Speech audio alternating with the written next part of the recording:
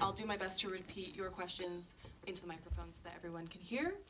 Um, so to begin simply, how did this film come to life? What inspired this story and why did you want to tell it now? Uh, first of all, I would like to share with this moment with uh, uh, two important persons that are uh, we with us, the producers of the movie, Attilio De Razza and Pierpaolo Verga.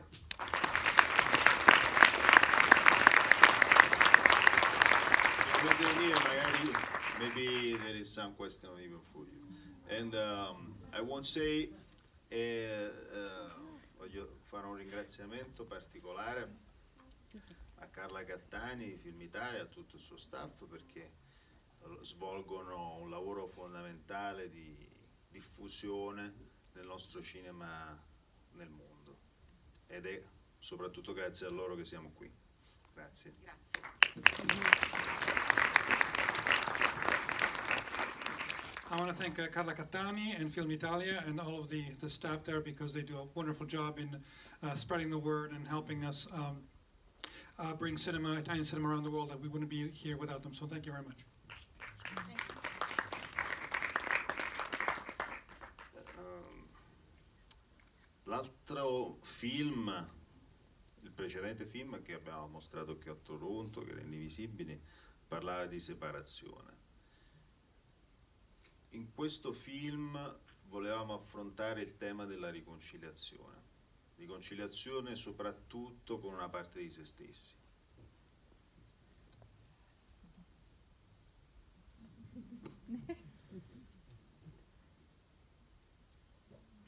Um, I was expecting, mi aspettavo un discorso più lungo.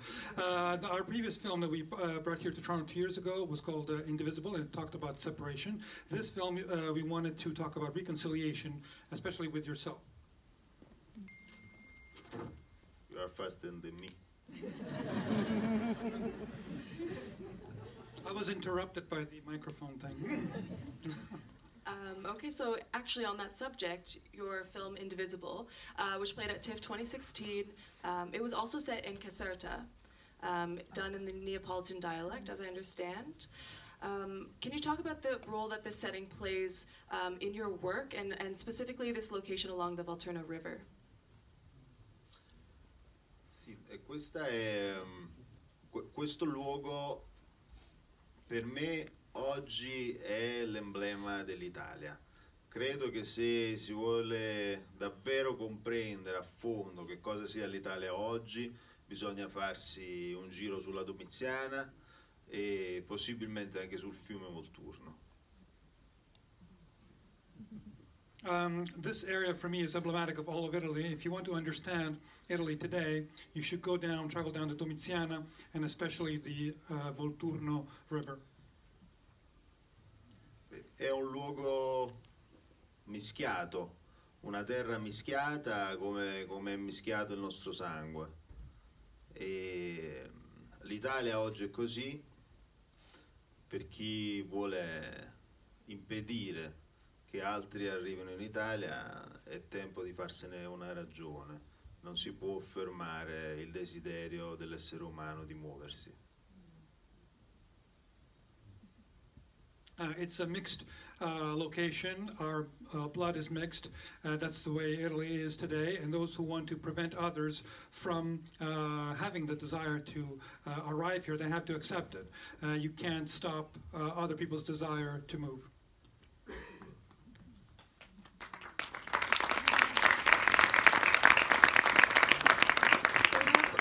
one question for Pina.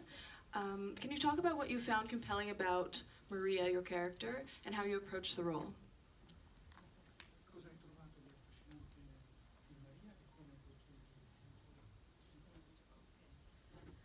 Ah, eh, mi piaceva la storia di una ragazza semplice, di una ragazza che potesse essere veramente una, la nostra vicina di casa e che potesse avere, come tutti noi, un grande dolore e che poi a un certo punto si ritrova a dover fare i conti con questo dolore mi piaceva che fosse forte ma allo stesso tempo fragile, come tutti gli esseri umani. Um, e mi piaceva soprattutto l'idea che con una storia semplice eh, ci potesse eh, veramente poi far arrivare un messaggio che fosse universale. Voglio raccontare questa cosa, ci provo in inglese. Eh, Stefano, vieni con me, magari ci aiuti? Con te ce l'ho. Stefano, my name is not Stefano. Ah? Alberto. Alberto, sorry. Stefano. Who the hell Stefano? We can change, it- change him if you want. Ok, please Stefano, come Stefano, here. yes, Stefano, yo. I can be Stefano. if Your that's, brother, uh, your beautiful brother. If that's your kinky, if that's your kinky thing, I'll be Stefano. Uh, anyway, uh, Pina, uh, what I found in Pina, uh, what I found compelling is the fact that she's a simple girl.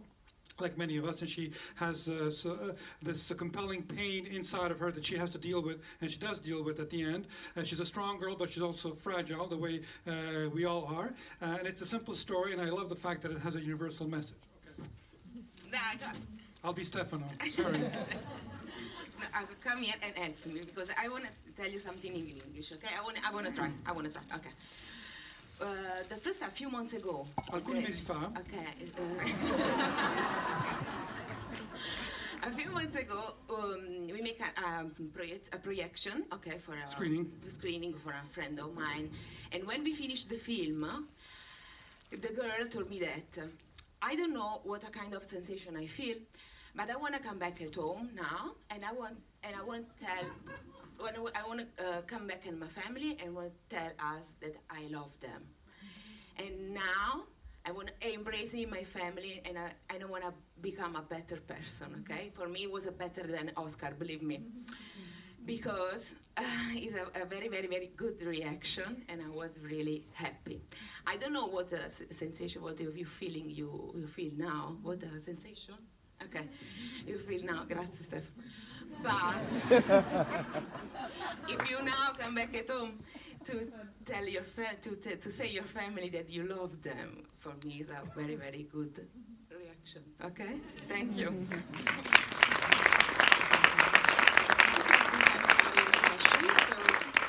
do you have a question, just raise your hand up high. Sure, I'll ask a question. Right here. Io mi prendo il lusso di fartela in italiano la domanda. Aspetta che traduco.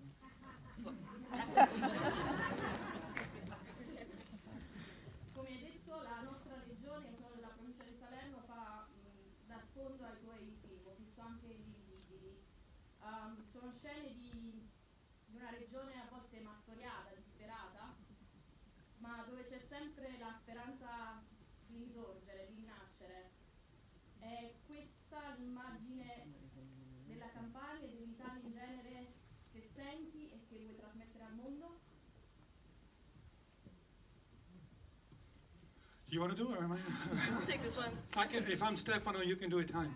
Uh, so anyway, you uh, you made your films. I saw uh, Indivisibili, and um, you made a film uh, set in Salerno as a, background. Uh, it's a region that's desperate and has uh, undergone a great deal of uh, hardships. Uh, but I always perceive that there's a hope for a resurrection, for rebirth. Uh, the region of Campania and Italy as well. Is this the message that you wanted to send with your films?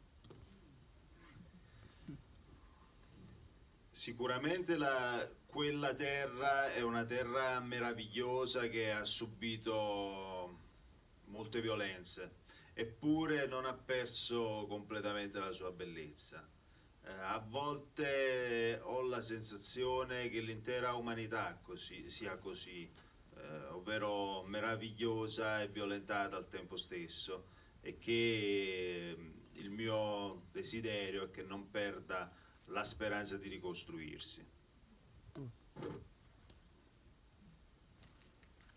Uh, yes, it's a wonderful land um, that has endured uh, an enormous amount of violence, but I feel that it hasn't lost its beauty uh, completely.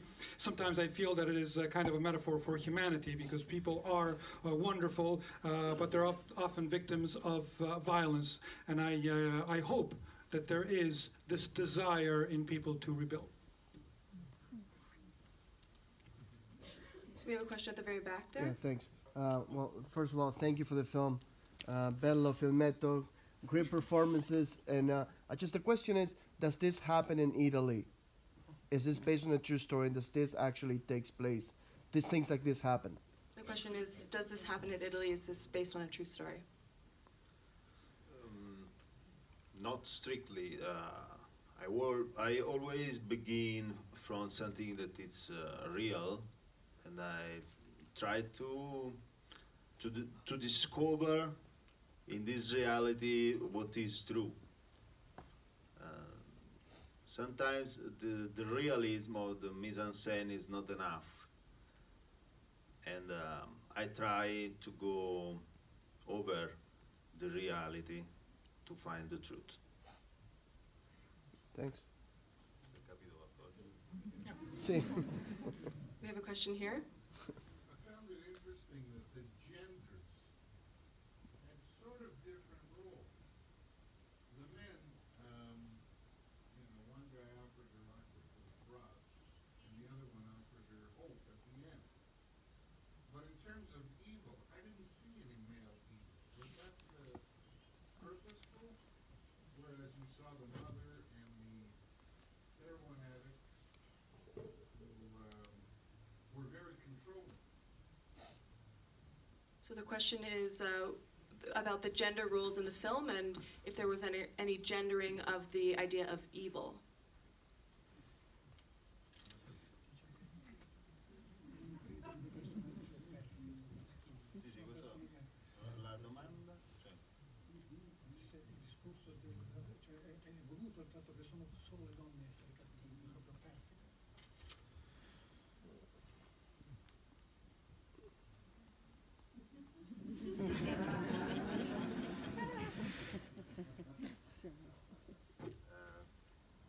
Qualcosa è voluto, qualcosa è venuto da solo. Io sono cresciuto, sono stato cresciuto da tre donne, quindi la mia tribù di riferimento è stata mm, tutta femminile e quindi mi viene naturale attribuire alle donne tutti i ruoli, sia quelli positivi che negativi. E in più eh, ho- avevo voglia di costruire un mondo dove gli uomini sono scomparsi, sono andati via da qualche parte e bisogna andarli a riprendere, a riprenderli per metterli davanti alle loro responsabilità, per eh, imporgli di interpretare finalmente un ruolo dignitoso. Um, some of the some of that is deliberate, and some of that just came out uh, during the shoot. I was raised by three women, so that's my point of reference. That's the tribe, an all-female tribe that I grew up in. So I uh, decided, and I wanted to attribute um all roles to women, positive and negative, good and evil. Also, I wanted to build a world where uh, the, the men have disappeared, so that there's that desire to grab them, bring them back, force them to accept their responsibilities uh, and impose upon them uh, a, a more dignified role. Question over here. for the producer on the stage. Carpano, how hard is it to get a film like this made in, uh, in Italy? And, and a two-part question also, you guys, um, are married, how is it cool being married? So the question, Carpano. the, the question is um, if it's difficult to have a film like this made in Italy, um, and then as well for the two of you, what the dynamic is like um, working together as a married couple. Uh, no, it's not difficult, not for us, uh, hopefully. Um, the production team is all here. It is me and but uh, Attilio is producer as much as me of this movie. Is more expert producer, and um, Edoardo also is producer of this movie. Uh, we hope hopefully have the support of an mm, important distribution in Italy that uh, financially supports this this kind of production. But um, if we are able to do that now, it's because we have been working hard until this moment. Uh, this is our third movie together. Edoardo did uh, another movie before that, and thanks to um, probably thanks to the work we, we've we've done in the last five years, maybe now it's easier for us to make uh, such a strange movie, such an intense, uh, revolutionary somehow kind of movie. Not really uh, kind of movie you can easily find in the market in Italy or all around the world. Hopefully, with Indivisibili, we've been traveling. Now Edoardo is getting uh, noticed quite a lot all over the place. So uh, this one was not really hard to make. Every movie is hard to make, but it was not as hard to produce. And but it's it's not this one. It's the the work we've done in the last five years with Attilio and Edoardo.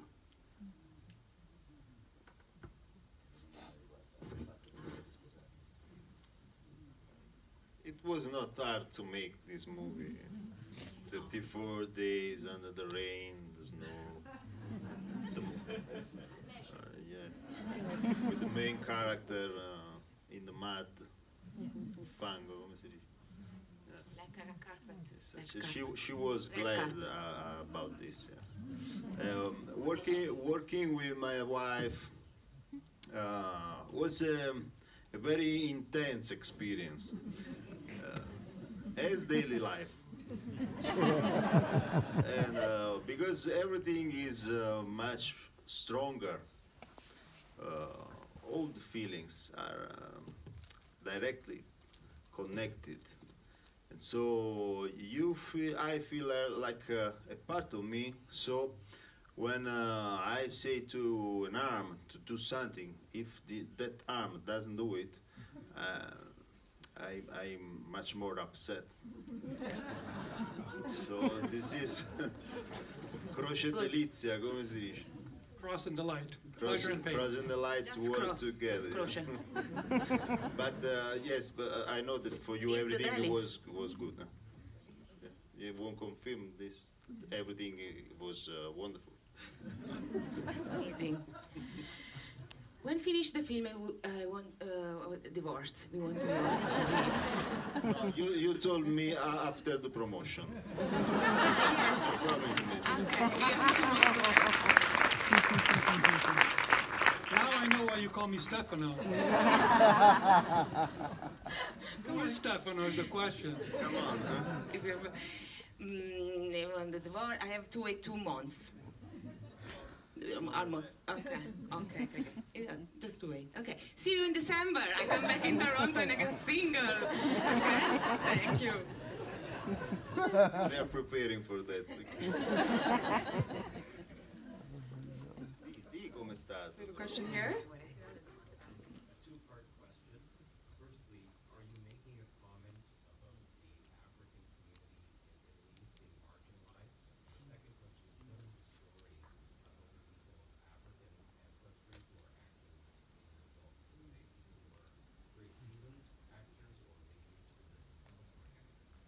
So the question is, is, is the film making a comment about African people being marginalized in Italy? Um, and as well, who are uh, the actors who are playing these characters? Because they're wonderful. Non ho capito la prima parte, sono immaginati gli africani in Italia? Questo è il commento che vuoi fare col tuo film? Ah, ok. eh, parlare della Oh, que- quella è una parte specifica di, di Africa che si riversa a Castelvolturno, e soprattutto arrivano lì persone soprattutto da Benin City. Parliamo di circa il 90% degli africani che sono presenti a Castelvolturno. Considerate che Castelvolturno ha 25.000 abitanti regolari e poi ci sono 25.000 irregolari. La maggior parte di questi sono nigeriani.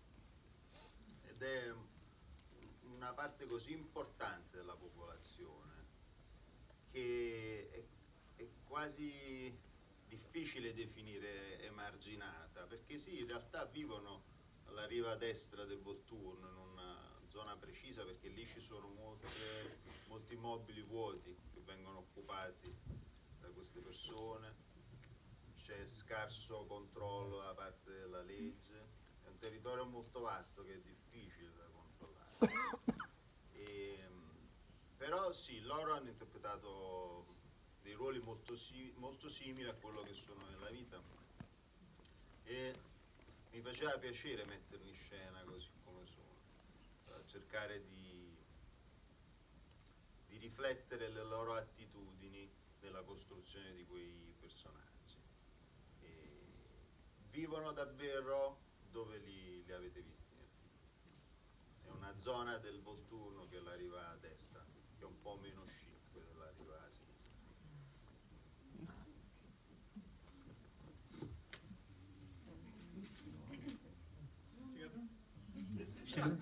Uh, yes, it's a very specific um, part of Africa that uh, we see in Castel Volturno, especially Nigerians come there, particularly from Benin City.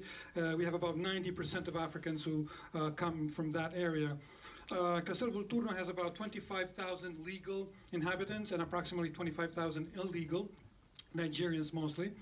Uh, and it, it's difficult to call them marginalized because they represent a very important part of the town. And yes, they do live, those people do live on the right riverbank of the Volturno. There are a lot of empty houses in that area that they have occupied. And uh, the law doesn't really control that, doesn't patrol that area. So and it's very difficult to patrol. So uh, they occupy, uh, they're squatters, they occupy those uh, homes, and it was a pleasure to put them on screen because uh, uh, I gave them the opportunity to reflect on, uh, on screen in the film their real life attitudes, uh, and actually they live in that, uh, in that area, uh, in the right um, river bank, which is not as chic as the other side. I think we have time for one more question. Yes? Thank you for coming to Toronto. It was a magnificent film. Thank you so much for making it. Thank you. Thank you, Toronto is an amazing city. It was my first time. It's an amazing city. Uh, thank you for... Uh, come si dice proprio il vostro calore? Your warmth. Yeah.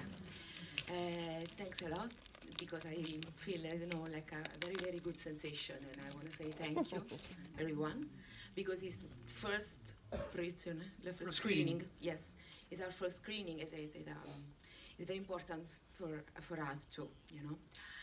Um, we want to come back soon. Uh, and if you want, we have another screening the, the day after tomorrow, okay? Uh, if you are free, if you are off, I don't know. and I want to say thank you, thank you very much.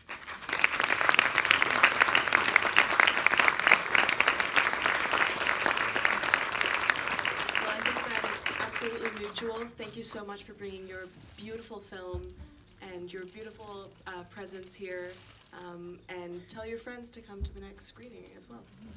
Thank you. Thank you. Thank you.